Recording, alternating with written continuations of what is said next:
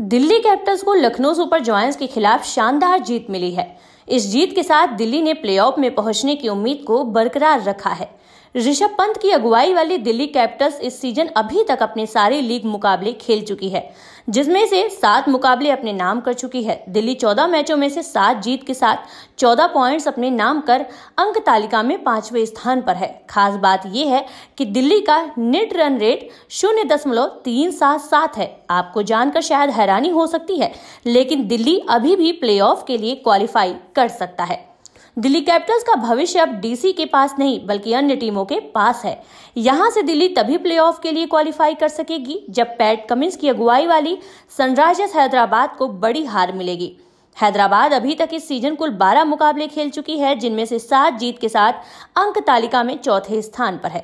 हैदराबाद का net run rate plus शून्य दशमलव चार शून्य छह है।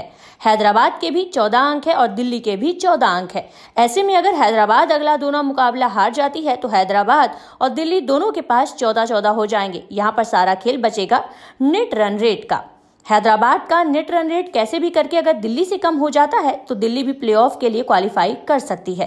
हैदराबाद को एक मैच 16 मई को गुजरात टाइटंस के खिलाफ खेलना है, जबकि दूसरा मुकाबला 19 मई को पंजाब किंग्स के खिलाफ खेलना है। अगर हैदराबाद को दोनों मुकाबले मिलाकर कुल एक सौ चौरानवे रनों से हार मिलती है तो उसका नेट रन रेट दिल्ली से खराब हो जाएगा।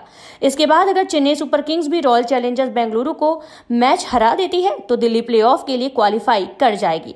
ऐसे में देखने वाली बात होगी कि क्या दिल्ली को भाग्य का साथ मिल पाता है।